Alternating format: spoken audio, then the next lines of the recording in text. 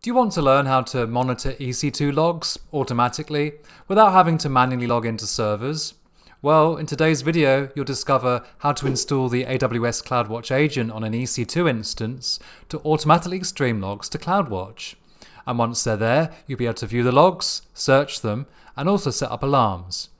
And all of this in a simple to follow worked example. So, let's get right into it. Good question. Why would you want to ship your EC2 logs to CloudWatch in the first place? And it's true that you can manually log into the EC2 instance to inspect the logs, but this has some serious drawbacks. Firstly, the logs aren't backed up. Secondly, this means that if the instance terminates, you lose those all important logs. Thirdly, there's no simple way to view all the logs from all the different instances in one place.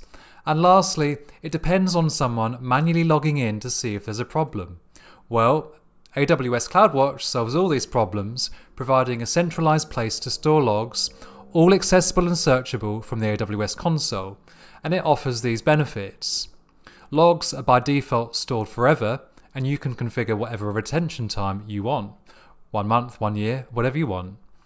Logs are also searchable, and custom metrics and alarms can be generated by automatically matching patterns that happen in the logs in real time. And here's some CloudWatch lingo for you. A log event is an individual log line or statement, and a log stream represents all the log events that have come from one particular source, such as a specific log file on a particular EC2 instance. And a log group, on the other hand, represents a grouping of log streams which share the same settings, for example, retention time. The best way to ship logs from an EC2 instance is to use the CloudWatch agent, and this is a process that runs on an instance and can be configured to ship any logs and metrics to CloudWatch. To get the agent working, you have to follow these steps, which are all covered in today's working example in the next section you need to set up a role, and this role is attached to the EC2 instance to include the CloudWatch agent server policy, and this policy allows the agent to push the logs to CloudWatch. You obviously need to install the agent as well, and this can be done using RPM Red Hat Package Manager, and this is downloaded from an Amazon provided S3 bucket. And lastly, you need to configure the agent, and this is in the form of JSON, and this file must be supplied defining all the different logs to be collected, along with which log group they should be streamed to. And the CloudWatch agent itself sends the log events to the log streams it creates, following a naming convention that you specify. And once all of this has been set up, the CloudWatch agent will begin streaming new log lines as they appear in the configured log files. So to demonstrate how to use the CloudWatch agent today to stream logs, we're going to be setting up this working example which contains an EC2 instance and a CloudWatch agent on that EC2 instance that's streaming the logs from the varlog secure log file. And this log file contains authentication information such as user logins and password changes. And then we'll be able to access the AWS console and see the logs in CloudWatch as they change. So if you want to follow along with this, you can launch this example by following the link in the description and this will launch a CloudFormation stack within your AWS account. Just click the next button three times, then on the review page, check the checkbox to say that AWS can create IAM resources on your behalf, then click Create Stack. Just wait a few minutes until your stack is complete and it creates the following resources, some of which we'll describe in more detail later, but it creates a VPC, a public subnet, an internet gateway and route tables to provide internet access to any instance deployed in the subnet, an IAM role with the already mentioned CloudWatch agent server policy, a log group, and an Amazon Linux 2 EC2 instance containing an initialization script that installs the CloudWatch agent the CloudWatch agent configuration file, and all the configuration required for the agent to reload the config when it gets updated. And before we jump into the details here, remember that you can find all the CloudFormation in the description below this video. In the CloudFormation template EC2 instance resource, we provide the following user data property which defines a script to run when the instance starts.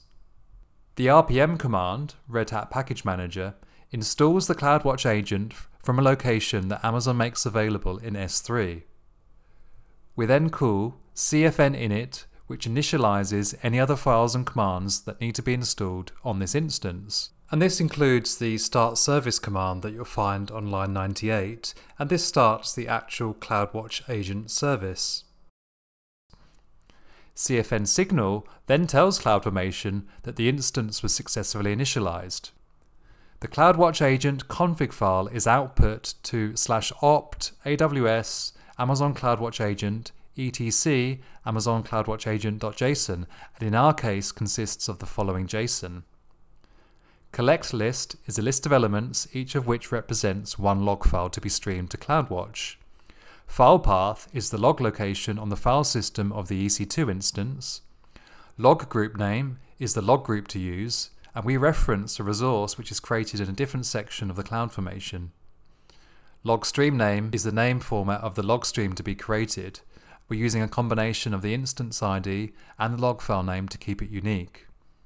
Now you can follow these steps to see the varlog secure log file from the EC2 instance in the AWS console. Go to Services, then search or select CloudWatch.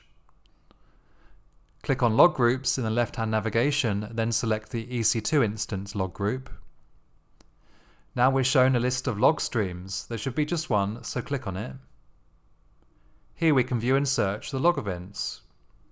We can see log statements to do with setting up the EC2 user, which is the default user on an Amazon Linux EC2 instance, and adding that user to various groups.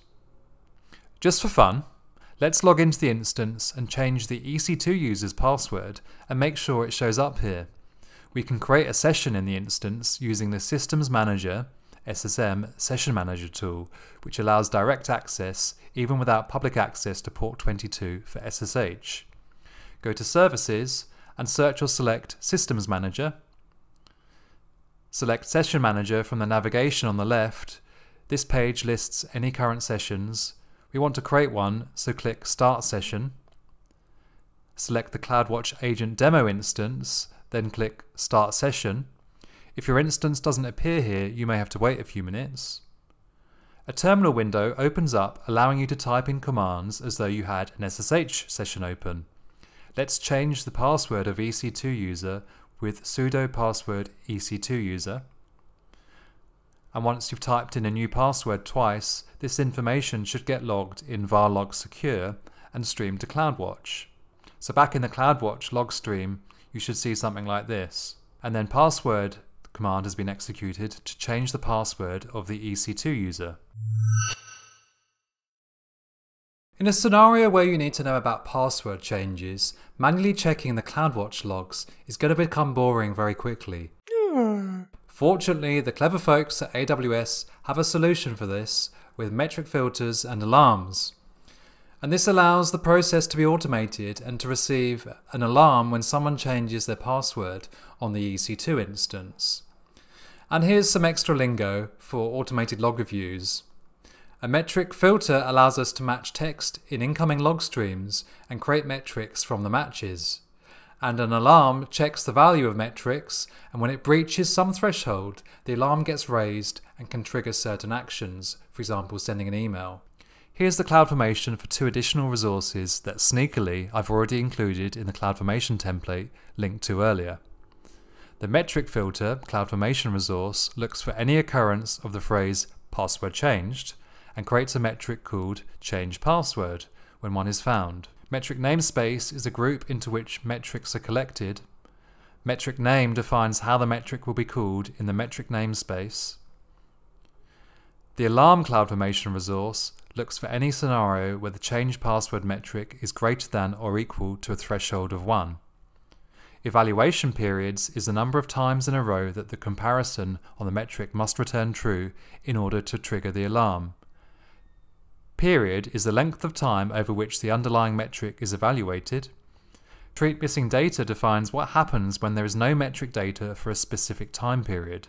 In our case, we set it to not breaching, as our metric filter only generates a metric when it finds a log event that matches the pattern.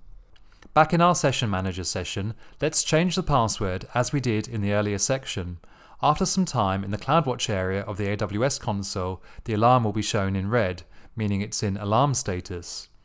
Clicking on the alarm shows us that the change password metric was indeed greater than or equal to 1. After some time, the metric will go back to the OK status. So hopefully you've seen that it's straightforward to stream logs from an EC2 instance to CloudWatch, providing a robust logging solution. And it's also worth bearing in mind that you can configure CloudWatch to also send metrics about your EC2 instance. This will allow you to monitor problems such as low disk space, high CPU usage, and much more. AWS metrics and alarms provide a way to be alerted when a log contains a certain piece of text you're interested in and consider extending this example today by configuring your alarm to use the simple notification service. And this way you can set up email alerts so that you don't have to check the AWS console all the time.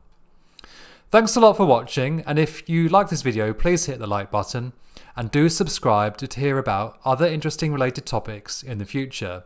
Otherwise, I'll see you on the next episode of Tom Gregory Tech.